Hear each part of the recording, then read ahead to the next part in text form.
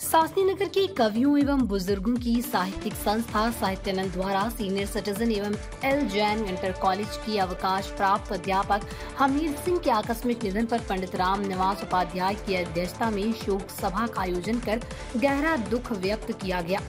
तथा वक्ताओं द्वारा उनके निधन को शिक्षा के क्षेत्र की अपूर्णीय क्षति बताते हुए दो मिनट का मौन रखकर दिवंगत आत्मा की शांति के लिए ईश्वर से प्रार्थना की गई। शोक सभा में पूर्व अध्यक्ष लालता प्रसाद, माहौर, कमल वार्षण वीरपाल सिंह वीर रविराज सिंह एमपी सिंह, विष्णु कुमार शर्मा बैंक वाले Amar Singh Pappu, tailor Murari Lal Sharma, Madhur Jayanti Prasad, Pathak Hanif Sandli, doctor Shahid Sandli, Harvinder Singh, Virendra Jain, doctor Prabhat Kumar, Akhil Prakash Verma, Neha Varshney doctor Qasim Ali, Yogesh Trivedi, Preeti Upadhyay, शिक्षक कवि एवं संस्था के सदस्य गण उपस्थित रहे।